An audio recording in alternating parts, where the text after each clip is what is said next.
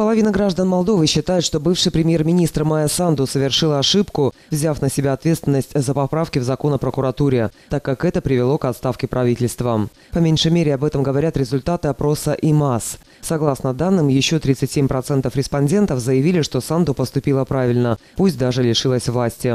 В то же время 47% участников опроса посчитали, что ее правительство все равно нужно было отправить в отставку, поскольку оно не оправдывало ожиданий а 42% уверены, что Санду намеренно спровоцировала вынесение вотума недоверия, поскольку осознавала свой провал и хотела уйти в оппозицию.